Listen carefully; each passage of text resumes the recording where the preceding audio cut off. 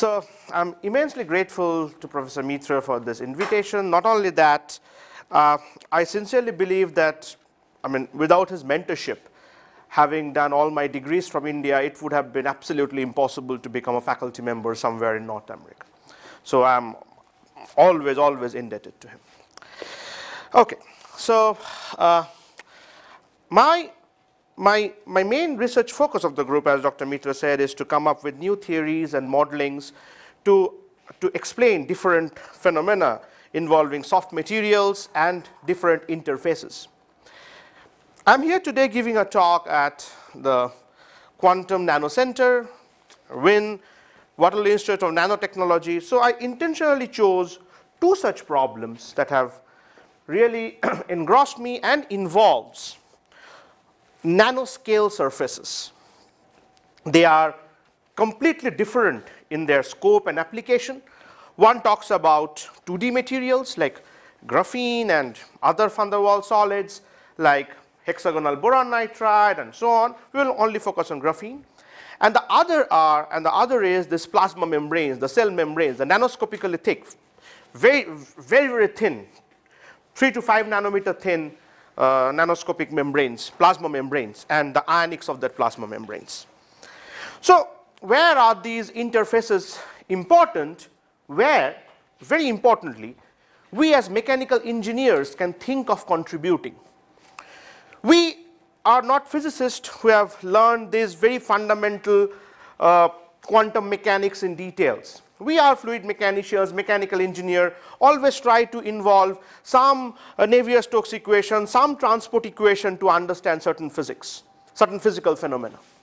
And uh, there are, these are some examples where we as mechanical engineers can contribute with our knowledge on fluid mechanics, ion transport, mass transport, and so on. For example, we can contribute on nanopore DNA sequencing. This is a beautiful problem where you can pass a DNA strand through a nanopore and can measure the current. Depending on whether a A or a T or a C or G is passing, this current decreases because you are introducing a particular non-conductive element in this nanopore. So by looking at the decrease in current, people have been doing nanopore DNA sequencing, a very, very classical technique. I won't say, well, you can say classical, but this is known for a couple of decades at least. As we are trying to understand, and this would be a key key part of my talk, people have been looking into the plasma membrane. So this is the plasma membrane that have this kind of protein channels through which ion passes. Why this is important? This is important. Without this, none of us would be surviving. We will not be communicating the signals between different cells. We will die little bit of difference creates huge, huge, huge health problems. What's going on, these protein channels that are there in this extremely impermeable plasma membranes allow the passage of ions, allows the passage of a lot of nutrients, helps us survive, helps us uh, uh, uh, uh transport signals between different cells. It is very, very important in our knees. So, so, so these two bones that you see, we can happily move because there is a beautiful polyelectrolyte layer that intervenes and that helps to keep things lubricated. The polyelectrolyte layer with, a, with, with obviously liquid mass. Any problem with this polyelectrolyte layer leads to a lot of problems of the knees. Understanding this has been central to devising these different artificial uh, knee, knee implants and so on. And finally, the big thing of material science, 2D materials. How big? Uh, a material science is the best person to answer. A given 2D material makes carriers. So here also there are cases where not only ion transport become important, but as more or less people are looking into it, liquid transport is also becoming important. I will start with this part of my talk.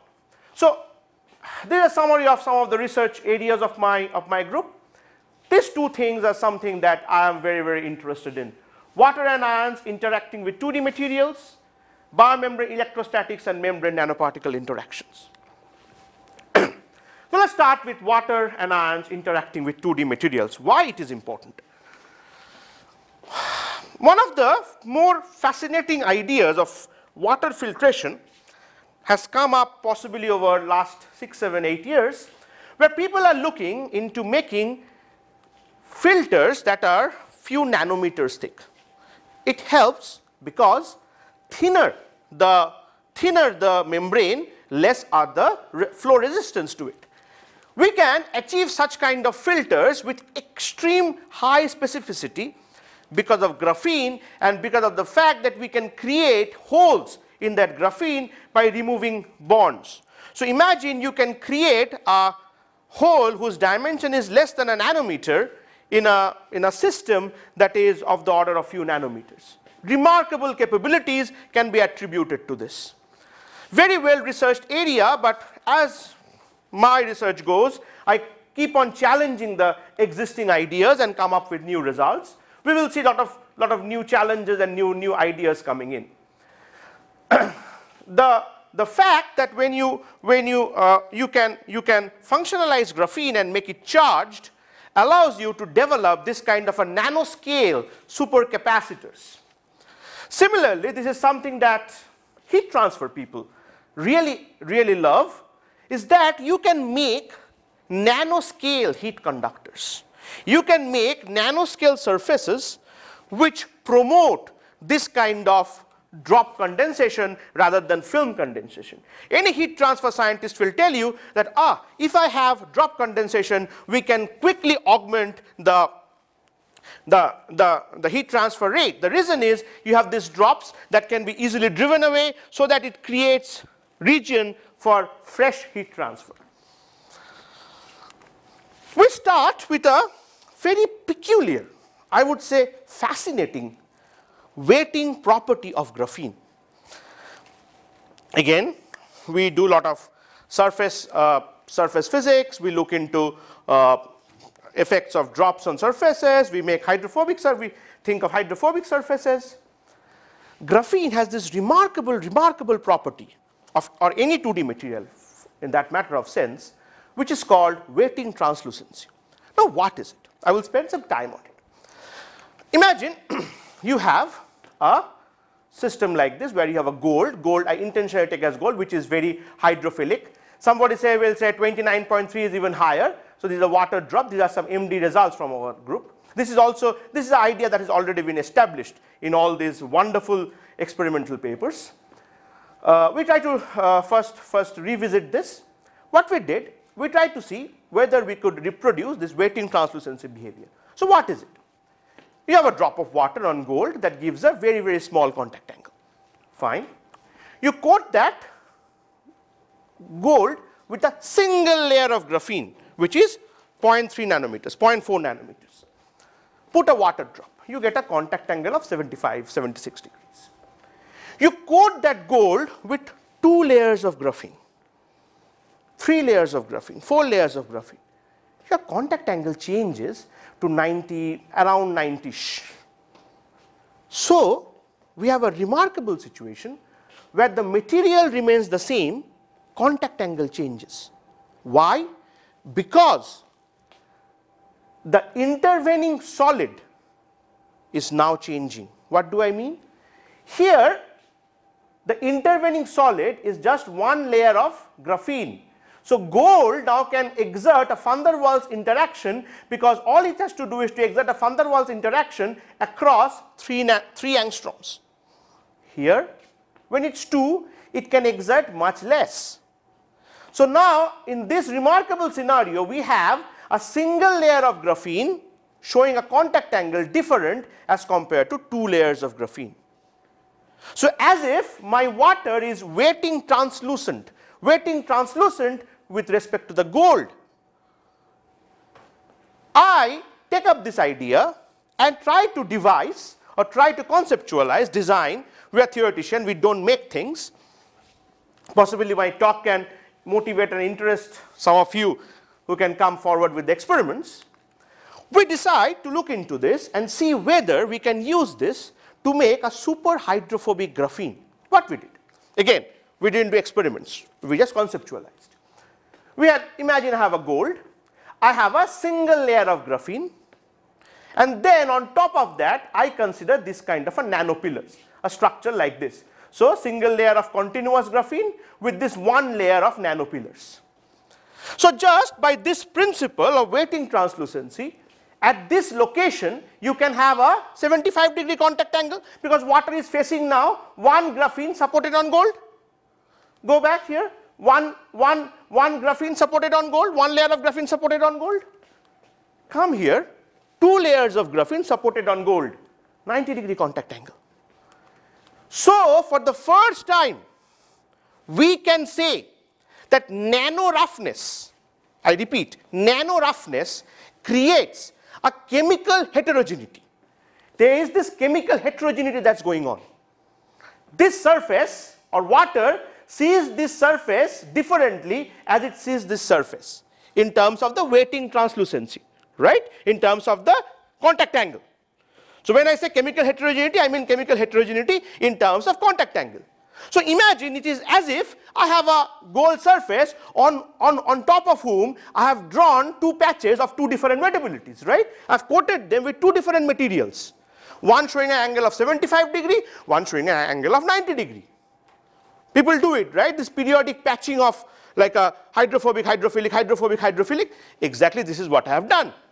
But not with two different materials, with one material and that is graphene. So if I do that, what happens? All of a sudden, I bring all the physics, all the phenomena that this kind of chemically heterogeneous surfaces bring in. And one of the key phenomena that brings, that happens when there is a chemical heterogeneity is that you get a pinning of the contact line. What happens?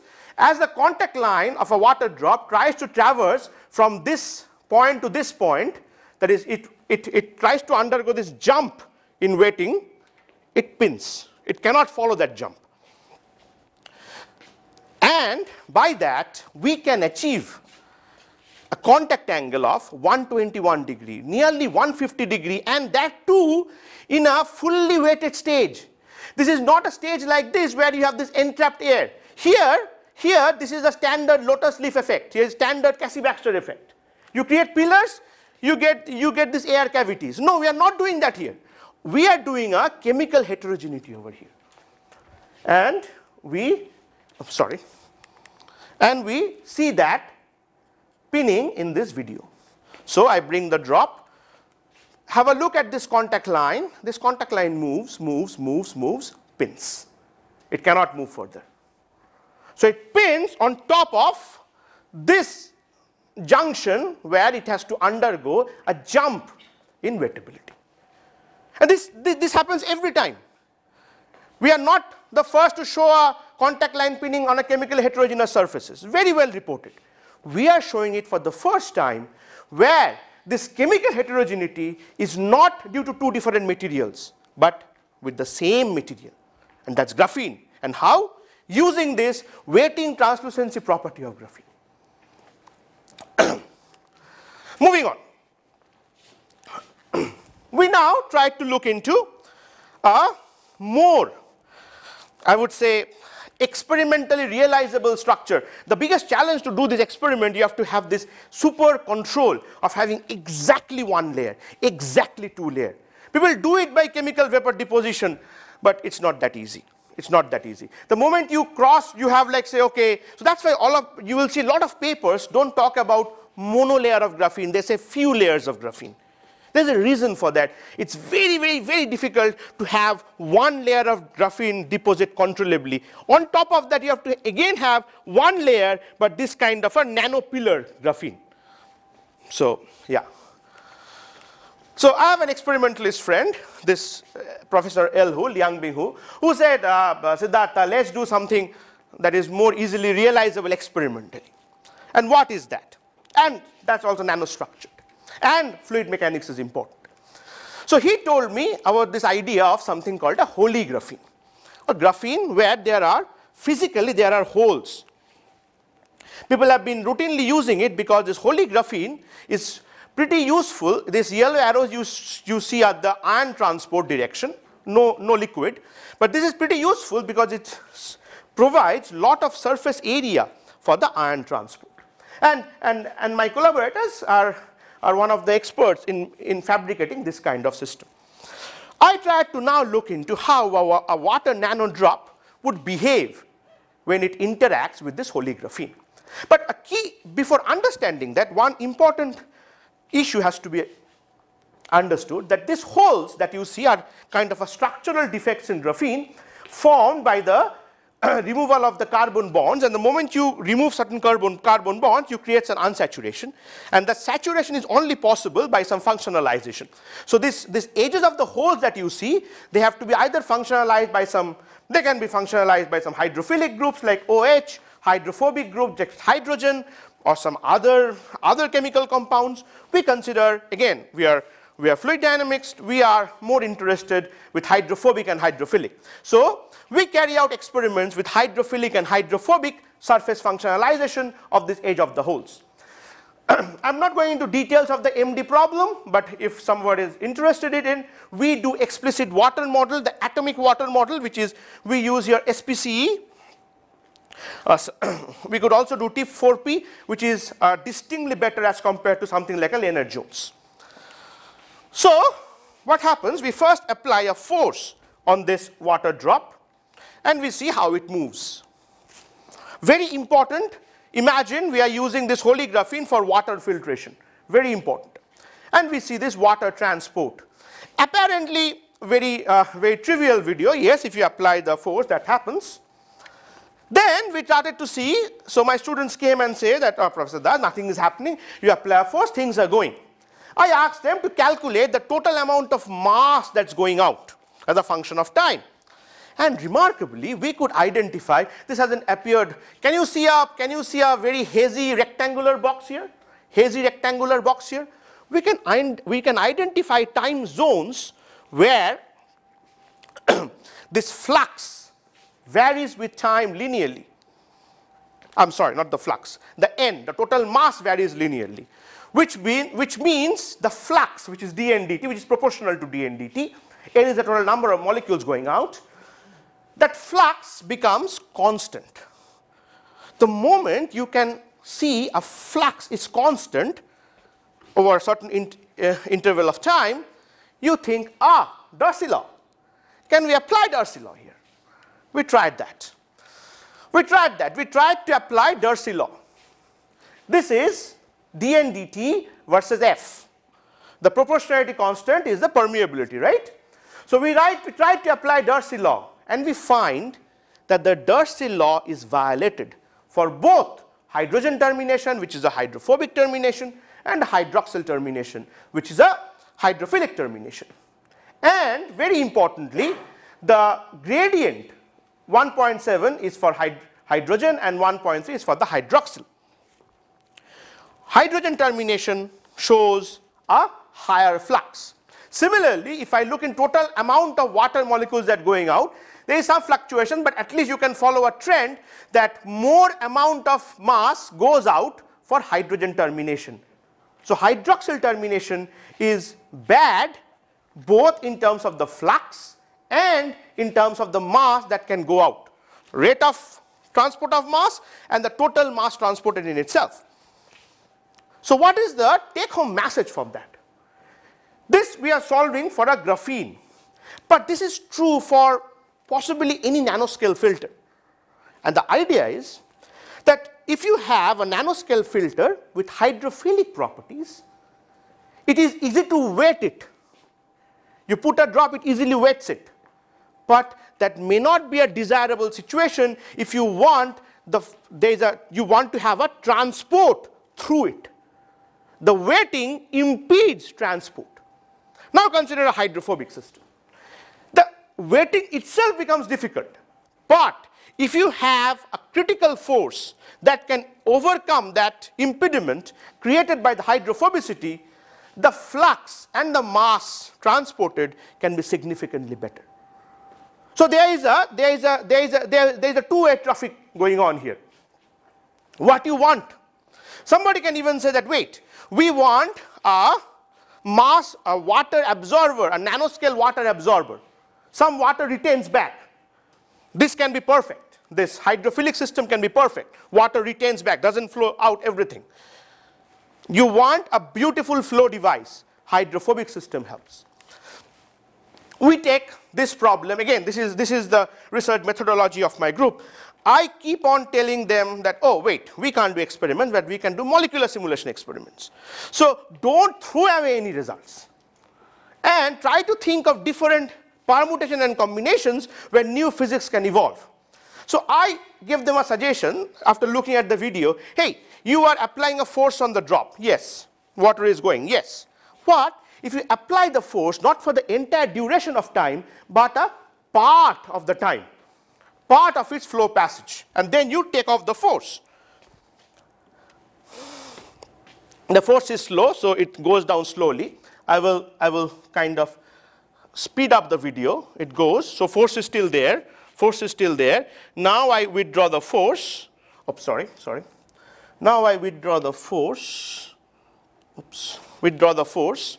And you see, because of capillary action, it goes, but it fails to, it fails to move the full distance. There is a, there is a beautiful science going on here, and which has a lot of applications. Oh, where's my, okay.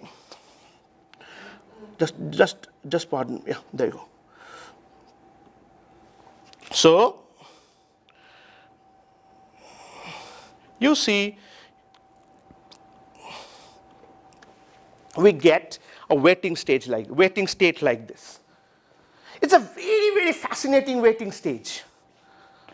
I have encapsulated the graphene layers. You can relate this to something like this.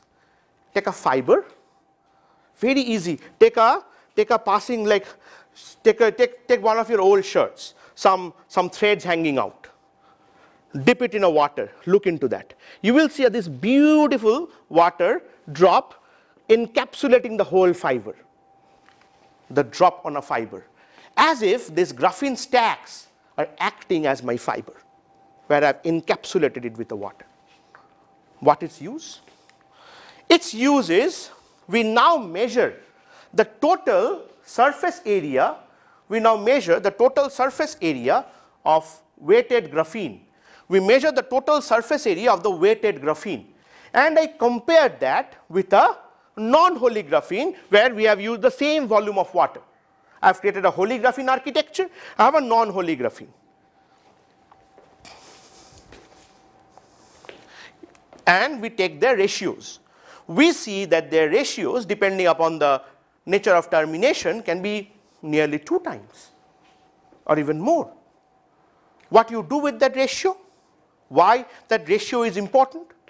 Imagine I am looking for a heat transfer device I, uh, that I would use, I would like to use this graphene system as a, in a heat exchanger. I want maximum exposure of this graphene, I want maximum exposure of this graphene to water. This enables it. Holey graphene was known for providing larger surface areas to ions. This research says that holey graphene under right combination of the applied force and so on can also lead to a large exposed area for water. So whenever any interface where interaction between graphene and water is important, that can be in forming electric double layer capacitors, that can be in heat transfer, this mechanism can be very, very useful. Okay.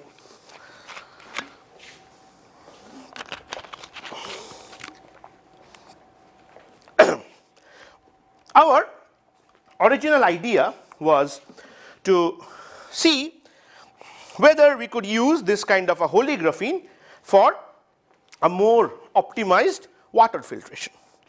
So, when I talk of filtration, I need to filter some moieties. One of the most things are the ions desalination. So we carried out some simulations where we were trying to look into how sodium and chlorine ion in a water drop moves. So I don't know whether you can see the, there is a blue ion here. The blue is a sodium that is getting attracted to a, this is a hydrophobic termination and there is this yellow, can you see a yellow here? This yellow is a chlorine. So I am trying to understand how this sodium and chlorine are interacting with this water and, and, and how it interacts with graphene. So, as, as we are trying to write a paper out of it, we said that wait, look, there are different interfaces here. The, the, the most important interface to start with would be the air-water interface and how ions interacting with that air-water interface. more, uh, more naively, how ions interact and adsorb at air-water interface. Classical, classical, classical problem. We kind of thought all the results are there. Has to be. So it has been problem studied for nearly 100 years. We started to sense a bit fishy when we found that even in 2017, people are writing PNAS just studying the ion adsorption at air-water interface. Huge number of publication. Does it mean science is still not absolutely established? I feel it, it's Newton's law. It's as simple as Newton's law. Everybody understands it. So we looked into possibly the work that's, that closely resembles us. It was looking into the interaction of an iodide ion with the air-water interface. And this work by uh, a group from UC Berkeley, they tried to make these conclusions. They said that there are that as ion goes to the air-water interface, it suppresses the capillary waves. So what are capillary waves? If you go to air-water interface, because of thermal energy, there are waves, right? So ion goes there and, and as it goes there, it kinds of pins the or suppresses the capillary waves. So any suppression leads to a decrease in entropy, right? So the decrease in entropy means if you write the free energy, again mechanical engineers are happy to write this beautiful thermodynamic free energy, simple free energy equation. Delta G gives energy, gives free energy, minus T delta S is there. So if, if T delta, so if delta S is negative, this is a positive, so delta G it becomes unfavorable. Very simple. So you must need something that favors it. So what favors it? They proposed and showed, showed with certain results that what is favored is nothing but the enthalpy or the or the internal energy because they, they, they felt that there was no PV work. So without any PV work, enthalpy is same as the internal energy change. And that enthalpy decreases, so delta H or delta U become negative and why? Because as the ion goes to the interface, it displaces the surface water to the bulk and the bulk, in, in the bulk, the water are more stabilized as they can form stable bonds with other water molecules. Okay, state of the art, message complete. I said my students, okay, hey, the results are there. Then one of my very, very brilliant PhD student comes up and said, Professor Das, I think there is an error. I said, come on. And these are, this paper is in PNAS. There are three, four followed up papers that cites this work, supports this work. They said, wait, wait. They look into a simulation box you see here is 20 angstroms. So this, these numbers are in nanometers. Look in the x. So x and y, y uh, is in this direction. So x is 20 angstrom. I said, what's the problem with that?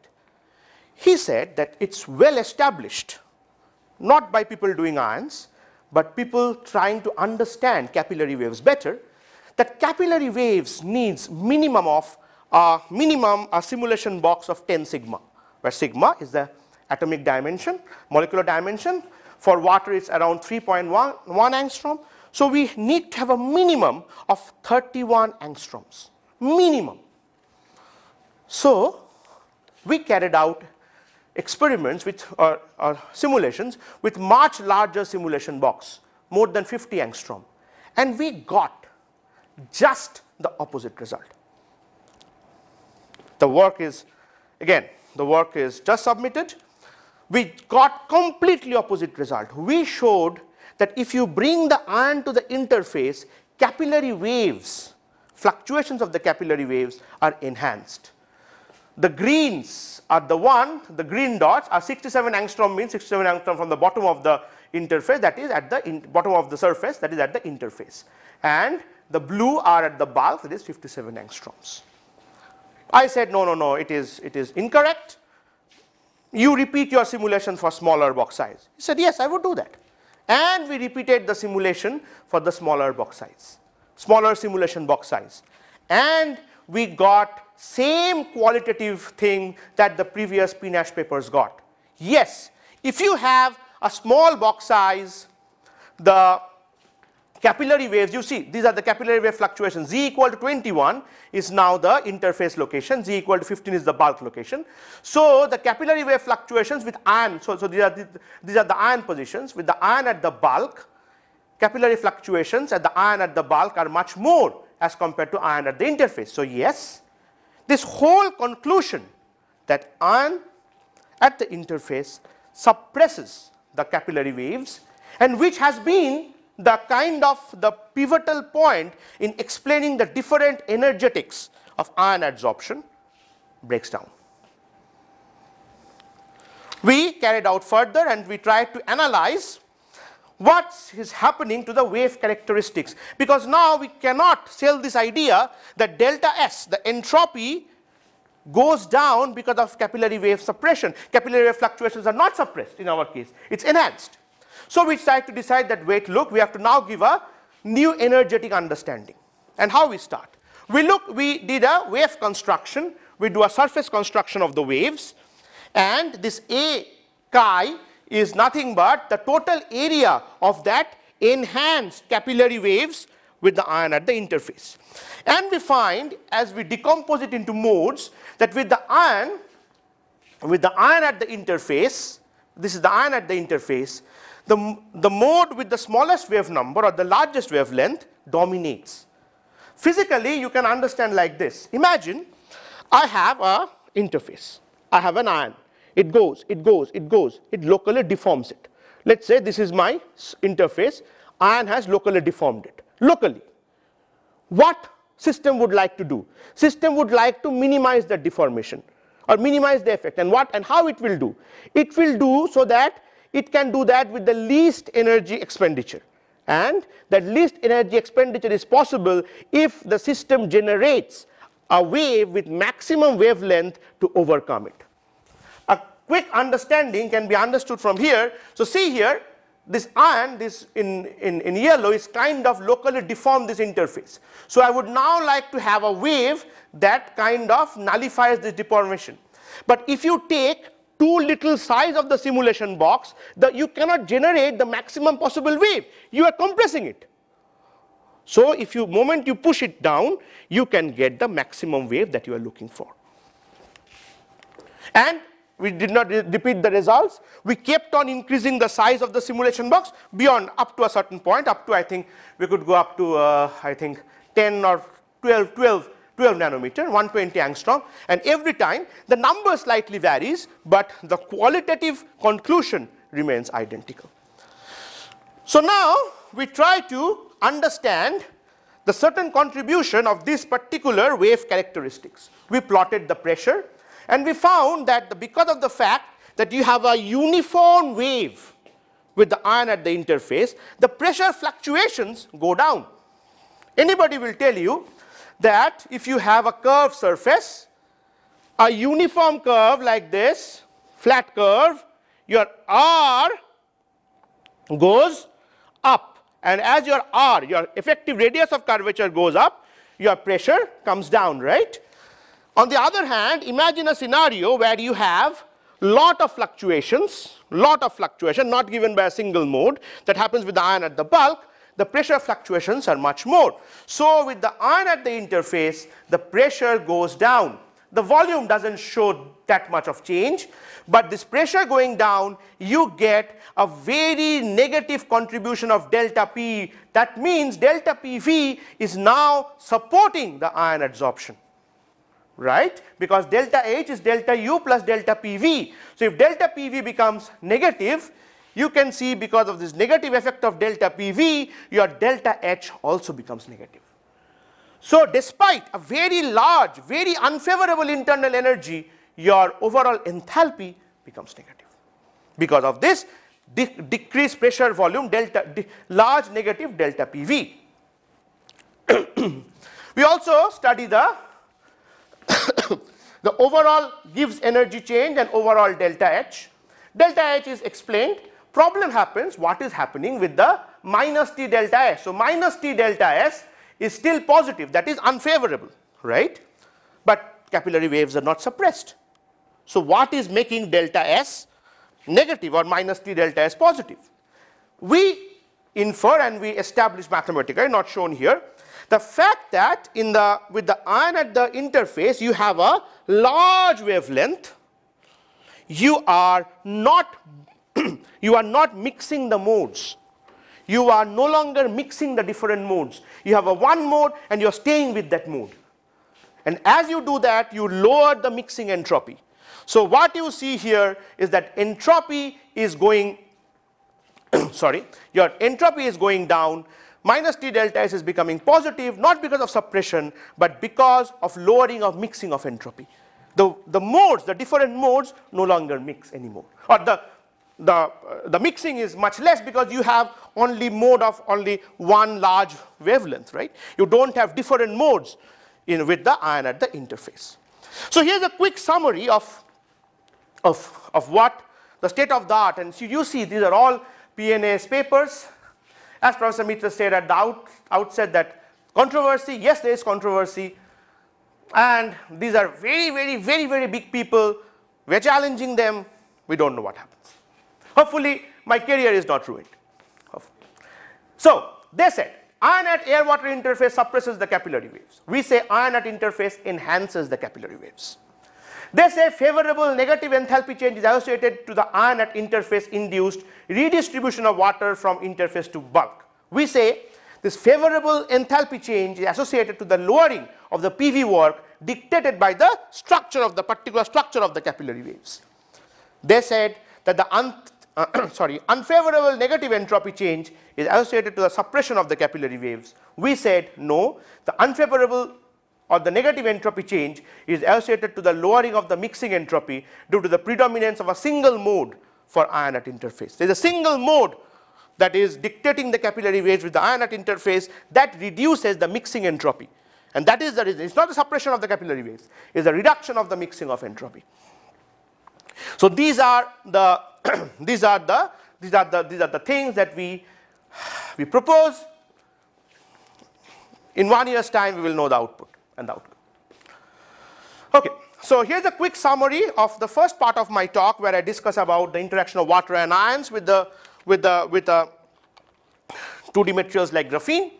We came up and showed that we could use wetting translucency property of graphene to generate this kind of beautiful atomistically thin superhydrophobic graphene.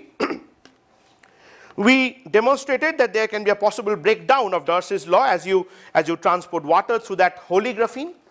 We could also generate very large augmented water accessible graphene surface areas by manipulating and controlling the forces with which the water is driven. And finally, we revisited and tried to understand the framework of ion adsorption at air-water interface. Of course, this work is not directly related to any of water, any of graphene, but the connection is since we are starting to look into water ion interaction with graphene, we stumbled upon this extremely interesting and controversial problem.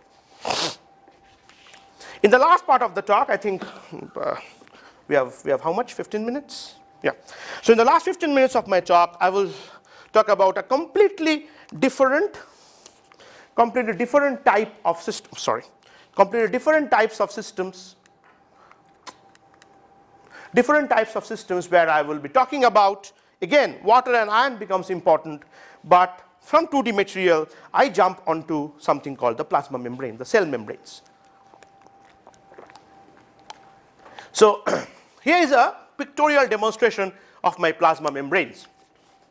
It is formed of lipid bilayers and it has this kind of protein channels where through which this kind of and these are some surface proteins and this protein channels helps in ion ion adsorb this this ion transport and some of the surface protein acts as receptors when we want to target this particular plasma membrane with certain nanoparticles. Very very important part of my talk. Where we come from here? This is a biophysical problem. This is a problem of biophysicists biophysics, very, very, very important problem. Where, where we come here into this, into this whole story as a mechanical engineer. We are mechanics people. We like to love to solve a mechanics problem. Mechanics means forces, energies, and so on. A very, very classical problem has been to see how a nanoparticle interacts with this plasma membrane. Why very important? Nanoparticle, targeted drug delivery, targeted drug delivery for cancer treatment, and whatnot, whatnot, whatnot. So we are, I looked into the literature and said that when, when, when one of my PhD students started and said that, did people look into the effect of surface charges? And the fact that the membrane is very, very highly charged, it often can be as charged as 0.1 or 0.05 minus 0.1 or minus 0.5 coulomb per meter square, very, very charged. And there is very large ion concentration of the order of uh, nearly 100 millimolar or even more around both in the cytoplasm, this is the cyto cytoplasm intracellular part and the extracellular part. So I, I asked my graduate student to look into the fact that if people have looked into the effect of the surface charge in this nanoparticle membrane interaction, he couldn't find a single paper. Not a single paper that talks about how this ion distribution, how these charges of a membrane affect membrane nanoparticle interaction. Ah, voila, we have something to work on. Problem happened. These are, these are some of the applications. I'm, I'm, I'm cutting it a bit short because of matter of time. I want to show some interesting results. See, we have already talked about this, some signal transduction, nanoparticle targeted drug delivery. So what we would say we would do, we will serve as a bridge between two communities. One community that talk very, very famous people from Professor Huajian Gao, Reinhard Lipowsky, very, very famous people who looked into the mechanics of nanoparticle membrane interaction, and very, very other group of famous people who looked into ions in soft systems, like Professor Martin Bazant, Professor Juan Santiago of Stanford, Professor Vinogradova, and so on. So, we are trying to look into this kind of a setting where this is my plasma membrane. I have two surfaces negatively charged. You have two kinds of double layer. This is an example where the membrane is fully permeable, permeates both the ions from the electrolyte side to the cytosol side, both plus and minus. Example where this, this system of plus and minus ion permeates only plus ion, so it's a semi-permeable membrane. We said that, okay, it must be known. Electrostatics of this must be known. People may have not done the nanoparticle interaction, but the electrostatics of this classical problem must be very, very well known. So we said, okay, let's rederive the, rederive the equations. We, did, we rederive the equations. We are looking mostly in the semi-permeable case. That's more interesting. And we tried to get a match between what uh, uh, a recent, oh, sorry, sorry,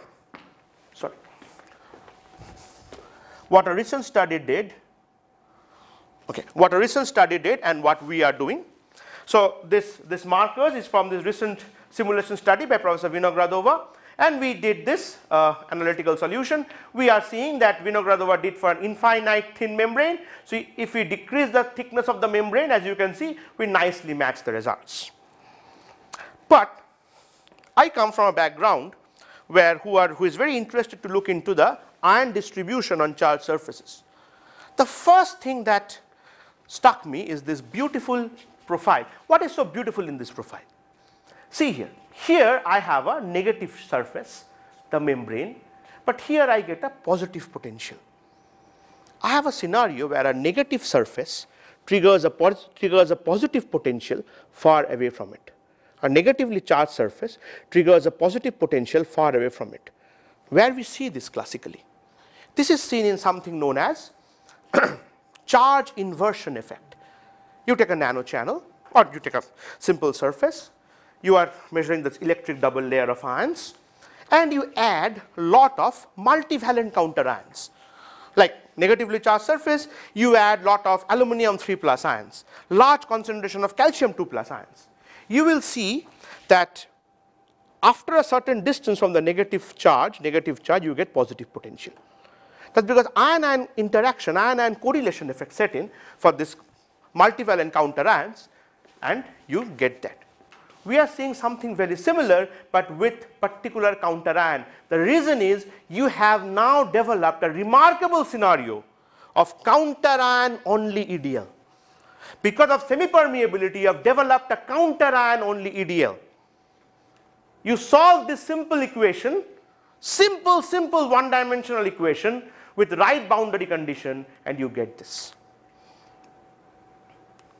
I told my students, okay, let's play with the parameters. He started playing with them. We found that as we, as we increased, sorry, as we increase the, as we increase the salt concentration and we kind of decrease the charge density of the membrane, this location where this inversion sets in, that is where the psi becomes 0 and changes from negative to positive, that is coming closer and closer and closer and closer to the membrane, eventually giving rise to a remarkable scenario where the surface itself becomes positively charged. Yeah, for the first time, somebody is seeing a positively charged plasma membrane, sorry, I withdraw my words, uh, somebody is seeing a negatively charged plasma membrane showing a positive zeta potential. I know only one, one material, one well-known material that shows such a weird behavior and that's glass. Because of certain chemical equilibrium condition, you can have a scenario where for a glass, your zeta potential is positive and your sigma is negative for a certain pH dependent situation. You can have that for glass. Again, here is no pH dependence or anything. It's just because of this peculiar nature of this ion distribution happening because on a semi-permeable side, you get this charge inversion at the membrane charge interface, uh, sorry, membrane cytosol interface. You get this negative charge. You can see here, this is a membrane location where you have created this, this, this, this negative potential. This becomes even stronger over here. You have a positive potential on a negatively charged surface.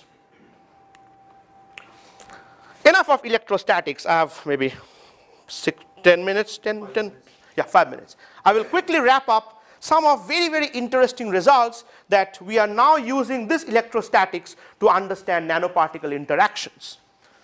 Nanoparticle interactions are very, very well known to, develop, to deliver drugs for a large, large number of body parts. They can be cells, they can be organs, and so on.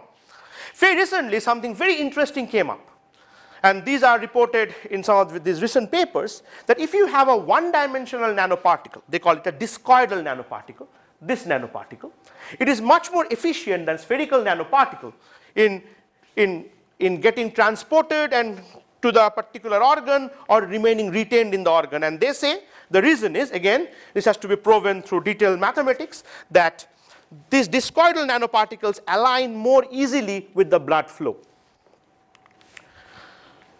So we work with a 1D nanoparticle. So what's the whole idea of this non-specific of, of this targeted drug delivery? Imagine I have these red cells which are disease cells, infected cells, in a host of healthy cells which are blue.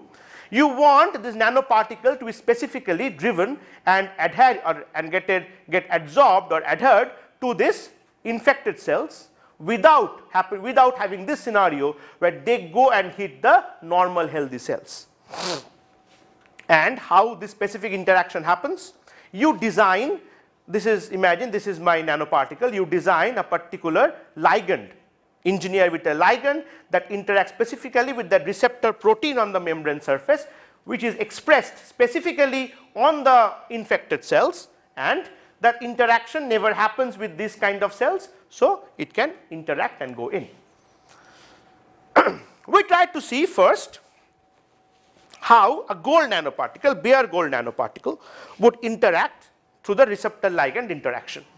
So the moment I introduce a bare gold nanoparticle, you see in this blue curve, the electrostatic potential in the system changes. Why?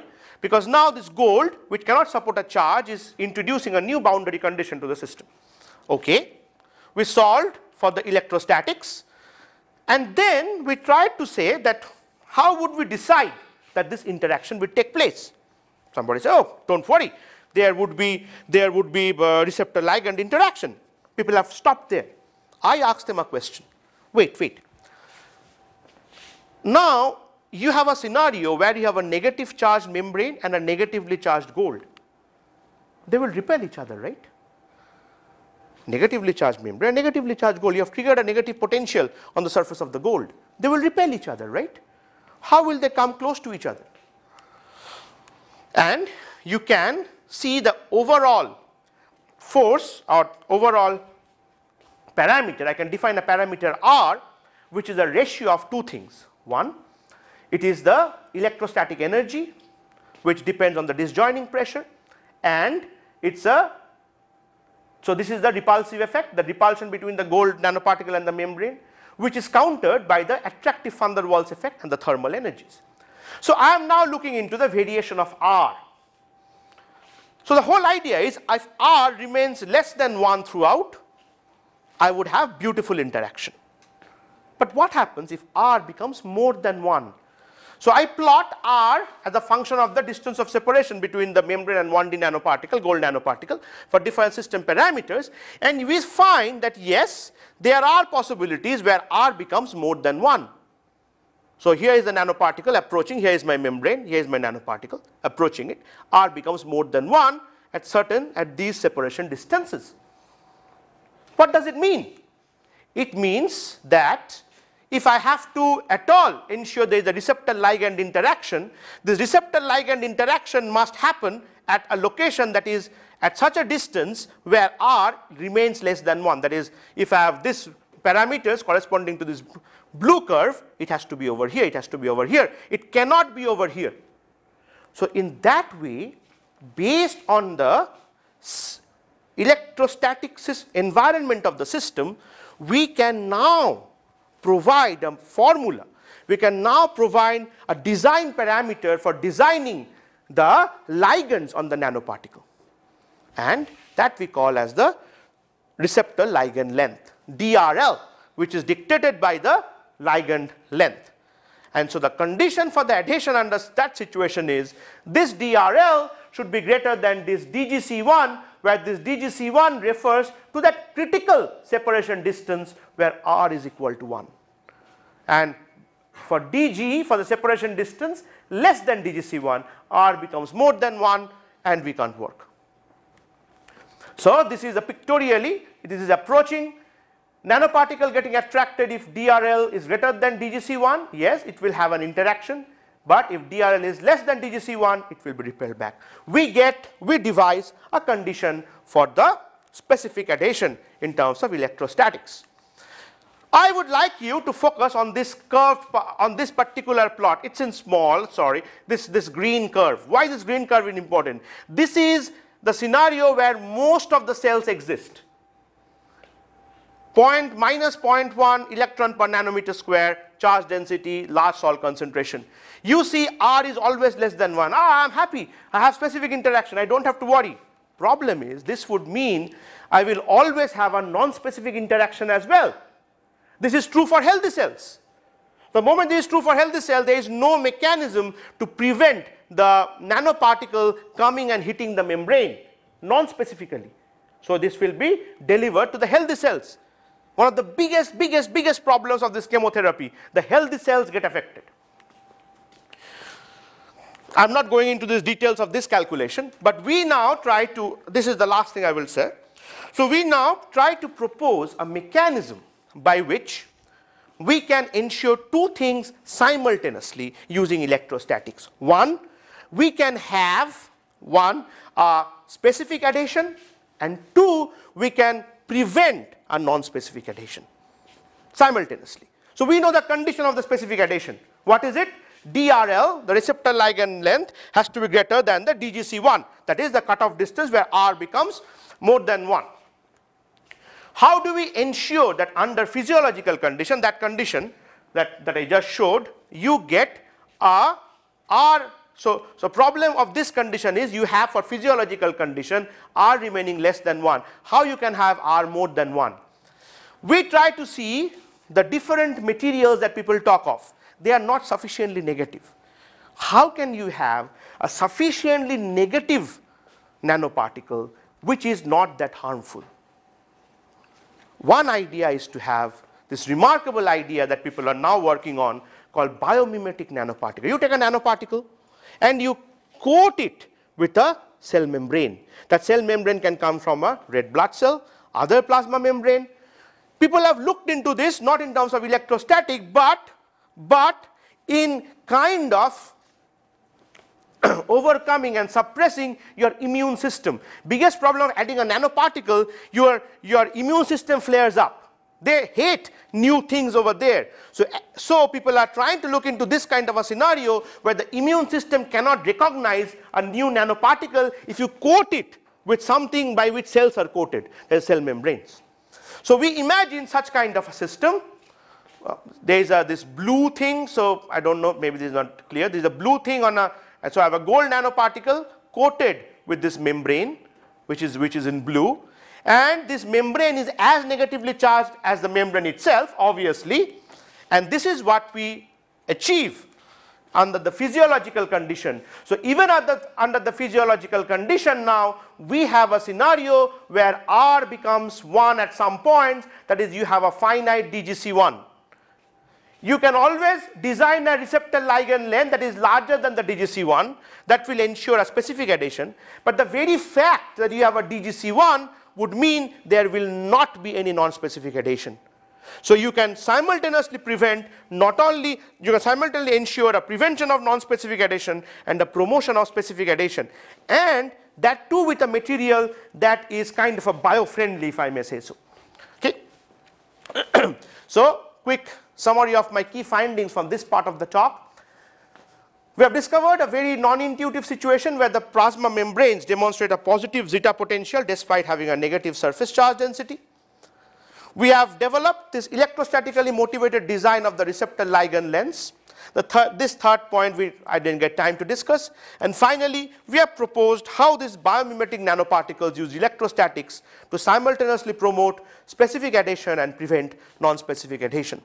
So I would like to acknowledge my collaborator, particularly on the graphene work, Professor Peter Chung, my graduate students, and my former Emma Strain Joseph, who was keenly responsible for setting up the MD work, and the funding agency, US Department of Energy, uh, two separate grants from NIH and two institute, NCI and NHLBI, and also uh, this is a local, this is there's something internal, which is uh, which helped me start my initial results with, with, with MD work. And this, and I'm grateful to this very high-speed supercomputer Deep Thought 2 that is there at University of Maryland.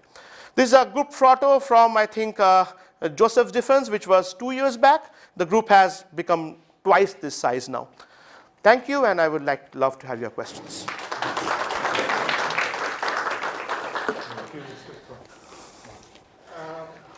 about your uh, electrostatic calculation.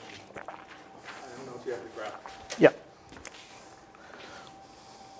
This, which graph you're talking? Uh, the one showing the potential. Okay, okay. Uh, yeah. This one will, okay. So this is just a 1D problem. right? 1D problem, yeah.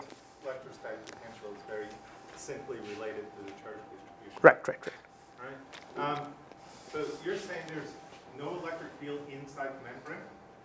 No, no, no, I didn't say that. No, but inside the membrane, So yeah, inside the membrane, no, no, there's, there's an electric field, but inside the membrane, there is no net charge density. So I will go to the equation, yeah. So inside, this is inside the membrane. So the membrane doesn't hold a charge. sure, the curvature is zero. The slope is not zero. Right. So uh, the slope becomes equal to zero for a fully permeable membrane. And that's, and that's because it, it's a symmetry now. So if you have a symmetry, it will become straight line. No, electric field is the slope Right, right, right. But I'm saying slope is also zero for a fully permeable membrane. For an impermeable membrane, it is not zero. You could see there is a, there is a curve. You could see. This is, this is the membrane location. Yeah, well, let's go back to the other one. Which one? Yeah, so this is, this is, it depends on the system parameters. If, if you have chosen, it depends again. So here I'm doing a fully, so, it's, so you can see it is less, it gradually grows up. It depends on the system parameters, how you choose the system parameters. It's a function of the system parameters. The place where the slope should be 0 Mm-hmm.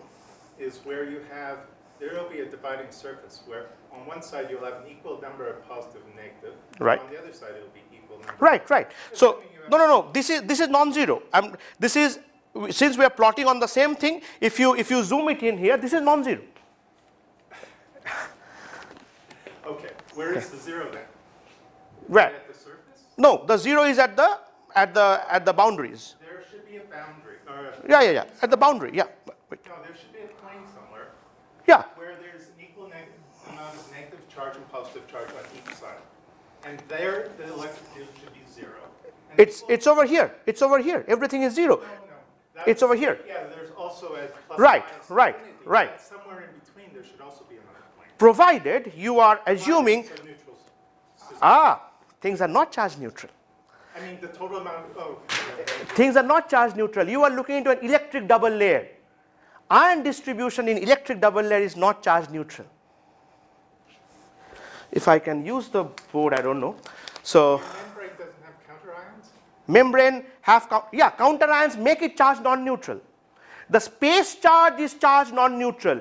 Charge neutrality comes if you consider the electric double layer and the membrane charge together, Right. right? Yeah, okay, so So if you consider the membrane charge and the electric double layer together, then you get a charge neutral. You do not get a charge neutrality in the psi.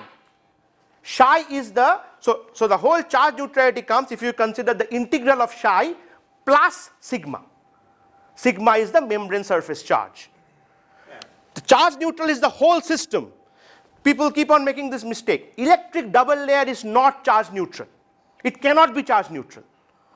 Charge neutral is the charge surface plus the electric double layer. Two things taken together. So if I have integrated this psi and plus I taken a sigma, do one thing. You integrate this psi over y. You add that plus 2 sigma here, which is the membrane surface charge, you get a charge neutrality. So if you go to the cartoon above, Huh? at what value of y, no, the cartoon, yeah. Mm-hmm. What value of y do you think the electric field is zero? What value of y over here? Like, I mean, As you come in, uh-huh. far away, the electric field is zero. Yeah. As you come in and some positive charge is now. Right, right, right. Here is, here electric field is non-zero here. Yeah. non-zero, non-zero, then you go large distance away, electric field is zero, where the membrane is no longer exerting its influence. Okay, yeah. Okay, I'll leave it. yeah. Any other questions? or- Yeah. Question for chemist. Uh, So you are a calculation person. Your work is based on calculation. Right, right, right, Simulation. Right, right. So you assume something, then based on, for example, your water permission, Huh. water permeability. Right, right. So, so you assume the water how interact with each other, and the water how to interact with the interface. Hmm. Make some assumption, Right, then you do the calculation, right, right. and to get the, to get these uh, results. I mean, for the MD, we do not have to do too much assumptions. Yes, we have to keep an, for example, for the MD, we do an assumptions with the MD of the graphene, we assume that the graphenes don't show up, I mean, like uh, fluctuations. So we say that the carbon atoms remain in their place, which is not strictly correct. There is kind of a wave that, a, a kind of a polariton wave that's going on. So, So all these assumptions you think is correct, that make you very confident on your results. uh, Or, or These are, the point is, uh, I kind of look into this. I try to make the assumptions that are that make sense, and from there I attempt to address a problem as the first go at it. are you going to do experiments? Uh, I, I have a big experimental program on 3D printing, but for to do experiments on this, somebody has to give money to me. Yeah, as someone, someone, someone else in the field. Yeah, uh, uh, uh, we have we are trying to look into some people from Harvard Medical School who are who are interested in some of this some of this uh, uh, plasma membrane work and trying to look into some vesicle interactions. In terms of the graphene, we my collaborator is an experimentalist, but again, I mean he is less interested in the fundamentals and more interested in the applied version. So I have to come up with a problem statement where he feels very excited that there is a big application potential rather than just looking into more fundamental water interaction with graphene. So that is, so that's, that's what I said at the very outset. So if, if I can uh, kind of interest people here to do some experiments on this kind of topics, I will feel very grateful. Any other last question? Okay, wrapping. Yes. Uh, So the van der Waals force has been uh, considered as a repulsive in your. Uh, No, attractive. Attractive. Yeah, yeah, yeah, of course. So this repulsive is the electrostatic interaction because you have two negatively charged systems, which is countered by a attractive component. So attractive components is the van der Waals.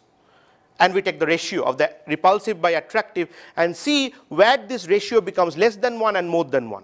Right. So like in the, does the material, like if you use gold, right, versus you use uh, like silicon, uh, the force. Absolutely. And that has been absolutely accounted for. So it's had been accounted for through the Hamaker constant.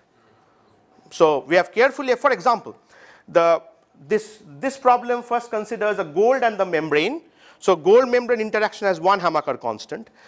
Similarly, when we come here, so this, oh, sorry, this problem, when we do this, here we are doing a Hamaker constant between two membranes, like a plasma membrane or a lipid bilayer, lipid bilayer. So do you have like a, uh, some idea like how does this distance change between the gold or uh, another particle and the lipid membrane? Uh, Distance of the Hamaker constant, what is uh, changed? As a function, uh, basically it's a van der Waals force, right? As a function Right. of, of distance. Right, right, right. Of course, of course I know. So for example, uh, if you have a plasma membrane, plasma membrane, Hamaker constant is nearly 20 times less as compared to gold plasma membrane. So gold plasma attraction is much more, nearly, so if I remember the numbers correctly, for the gold, for the gold plasma membrane, the Hamaker constant is around 25 times 10 to the power minus 21 joules, whereas this one is around 5 to, no, maybe 2 to 3 or 4 to 5. So 5 times, no, not 20, 5 times. Uh, so, so 5 times less, less. So what will happen with the, with the gold plasma membrane, the attraction is stronger because Hamaker potential is larger. The Hamaker constant is larger. What, what, want to is now basically if you change the distance by 0.1 angstrom, right? So 0.1 angstrom, nothing will happen. So typically of the order of 1 nanometer, yes. 0.1 angstrom is like 0.01 nanometer. That's too small. Van der Waals interaction length scale is around 1 nanometer. So you take 1 nanometer, 1.1, 1.2. So as you being closer, the gold and the plasma membrane interaction would show larger increase as compared to a plasma membrane plasma membrane interaction. Okay, uh, let's thanks uh, to Dr. Yang.